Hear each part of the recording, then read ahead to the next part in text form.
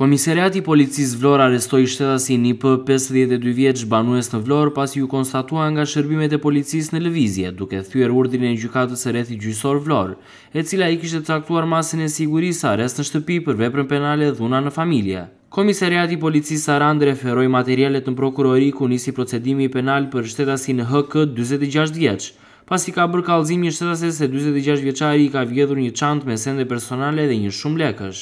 Referoi materialet në prokurori pasi më datë tetë i gjashti dy mijë e njëzet e katër dyshohet se është rrëzuar aksidentalisht nga dritarja e banesës në katin e dytë të pallatit ku jetonte shtetasja MXH gjashtëdhjetë e pesë vjeçe, e cila si pasojë ka humbur jetën. Sektori i Policisë Rrugore arrestoi shtetasin AR. njëzet e gjashtë vjeç banues në Vlorë, pasi u konstatua duke drejtuar motomjetin në gjendje të dehur. Materialet proceduriale i kaluan Prokurorisë për veprime të mëtejshme.